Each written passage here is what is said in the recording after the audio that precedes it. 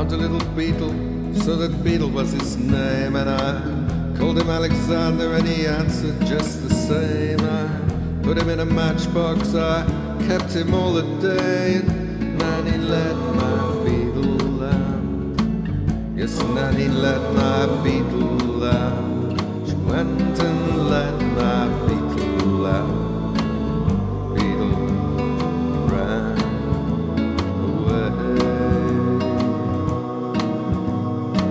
said she didn't mean it, and I never said she did. She said she wanted matches, and she just took off the lid. She said that she was sorry, but it's difficult to catch. And decided sort of beetle you mistaken for a match. She said she was sorry, and I really mustn't mind.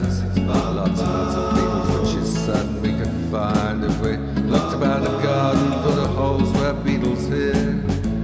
Another matchbox and write beetle on the lid. We went to all the places where beetle might be near, and we made a sort of noises which beetle likes to hear. And I saw a kind of something, and I gave a sort of shout. A Beetle House and Alexander Beetle coming out. It's Alexander Beetle, I'm as certain as can be, and he had a sort of look